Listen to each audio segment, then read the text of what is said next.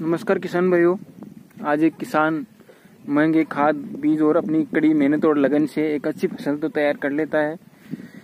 लेकिन बहुत से जंगली जानवर, नील गाय, आवारा गायें, जंगली सुअर, बंदर, हिरण, इस तरह के जीव उनकी फ़सलों को नुकसान पहुंचाते रहते हैं।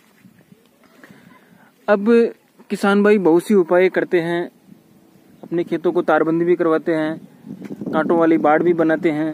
बावजूद इसके जो नील गाय रहती है, वो रुकने का नाम नहीं लेती और आपके खेतों में बहुत सा नुकसान करके चली जाती है। तो किसान भाइयों, आज मैं इस वीडियो में आप लोगों को नीलगाय से अपने फ़सलों को बचाने का ऐसा कारगर और प्रैक्टिकल तरीका मैं आप लोगों को बताऊँगा, जो मैंने भी किया है और मैं भी वही तरीका आजमाता हूँ।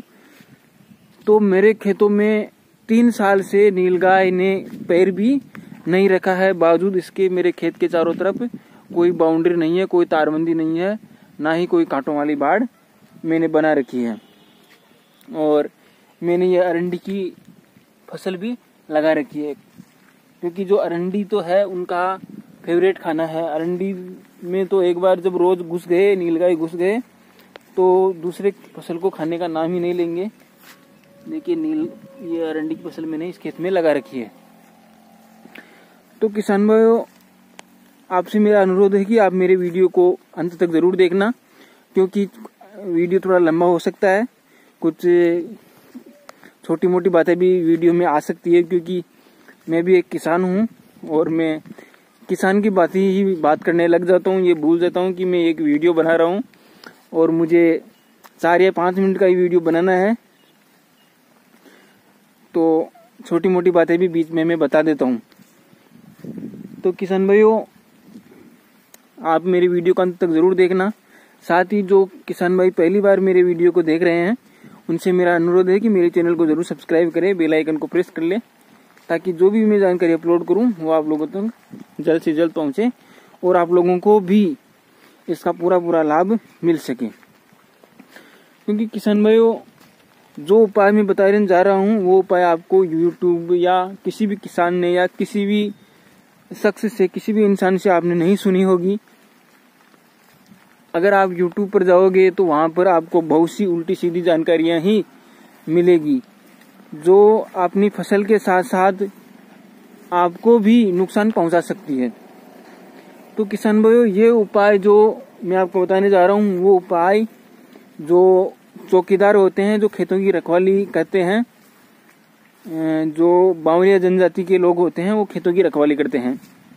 और बदले में कुछ पैसे या कुछ अनाज वो हमसे लेते हैं। उन्होंने हमारे को बताई थी दस पंद्रह साल पहले, जब मैं सत्रह अठारह साल का ही था, तब उन्होंने हमारे को ये उपाय बताई थी। तो किसान भाइयों, उन्होंने हमें बताया कि जो चमड़ी रहती है, वो चमड़ी हमें जो चप्पल जूते बनाते हैं, चमड़ी के बेल्ट वगैरह, चप्पल जूते वगैरह जो बनाते हैं, वहाँ से आपको थोड़ी सी वेस्टेज चमड़ी, आधा किलो लगभग आपको वेस्टेज चमड़ी उनसे ले ले आनी है। वो आपको फ्री में ही दे देंगे। उनका पैसा भी वो लोग नहीं लेंगे क्योंकि वो जो वेस्टेज चमड़ी है, उनके कोई काम में नहीं आती है।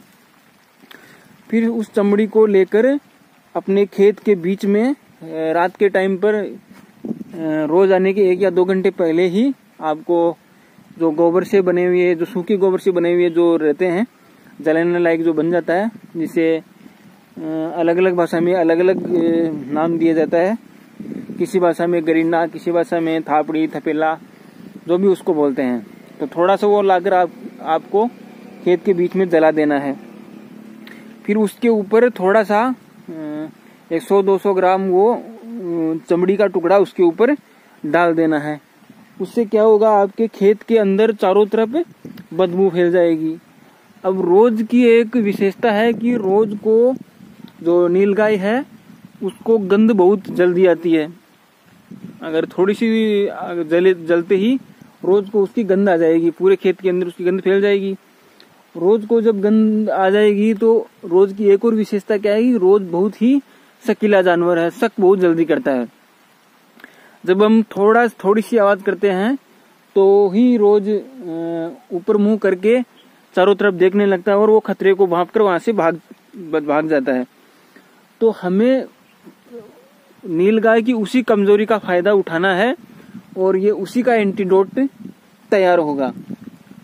तो जब नीलगाय को उसकी बदबू उसके नाकों तक जाएगी, उसकी बदबू उसको आएगी तो नीलगाय सोचेगा कि यहाँ पर कोई शिकारी रहता है और वो जानवरों को मारकर खाता है।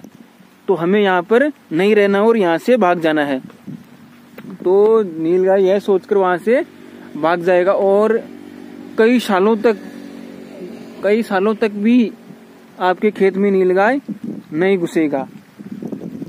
किसान भाइयों मैं भी यही उपाय करता हूँ। और आप देख सकते हैं, सामने मेन सड़क है। चारों तरफ़ ही मेरा खेत खुला पड़ा है। मैंने कोई तारबंदी नहीं लगा रखी है।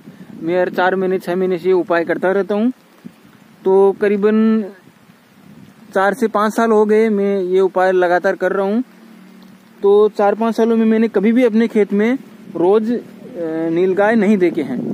बावजूद इसके मैं अरंडी की फ़सल जो लगाया हुआ हूँ ये आप देख सकते हैं, अरंडी की फ़सल में लगाया हुआ हूँ। और अरंडी उनका फेवरेट खाना रहता है। तो किसान भाइयों, आप लोग भी ये उपाय ज़रूर करें। और जो यूट्यूब पर बहुत से लोग बताते हैं, उल्टा सीधा उपाय, कोई बताता है कि आपने खेत के चारों तरफ़ जो तारबंदी, उसमें करंट लगा दो तो नील गाय को एक बार झटका लगेगा तो वो दोबारा नहीं आएगा। कोई बताता है कि अपनी फ़सल के ऊपर गोबर का छिड़काव कर दो तो आपको भी थोड़ा बहुत सोचना है सिर्फ़ उनकी बातों पर ही विश्वास नहीं करना है। आपको भी थोड़ा दिमाग लगाना है कि अगर हम फ़सल पर गोबर का छिड़काव कर देंगे तो वो फ़सल वो चारा अपने जानवर भी नहीं खाएँगे। तो उस, उससे आपको डबल नुकसान हो सकता है। और जब हम करंट तारों में छोड़ देंगे तो करंट किसी भी किसान के लिए या किसी दूसरे इंसान के लिए भी घातक साबित हो सकता है। उसकी जान भी उससे जा सकती है। तो ऐसे उल्टे सीधे उपाय जो यूट्यूबर बताते हैं, वो आप सोच करें, लेकिन सोच समझ कर सोच समझ कर ही आप लोग करें, वरना ऐसे उपाय ना करें। और मेरा ये वीडियो आप देखकर आप भी ये उपाय करें, ज़रूर करें, क्योंकि अगर आप पाँच सात दिन भी ये उपाय कर लिए, हफ़्ते भर अगर, हफ़्ते भर तक अगर आप ये उपाय कर लिए तो आने वाले कई सालों तक दो तीन सालों तक आपके खेत में रोज आपके खेत की तरफ़ मुँह करके भी रोज, वो नीलगाय जो रहते हैं, वो मुँह करके भी नहीं देखेंगे। जो मैंने प्रैक्टिकल किया है और मैं यही उपाय आजमाता हूँ। तो किसान भाई, ये मेरा ये वीडियो आप लोग भी देखें और साथ में ही दूसरे किसान भाई को ज़रूर शेयर करें, क्योंकि ऐसी जानकारी बहुत ही कम मिलती है और YouTube पर बहुत ही उल्टे सीधे उल्टे सीधे उपाय ही देखने को मिलते हैं। धन्यवाद जय जवान जय किसान।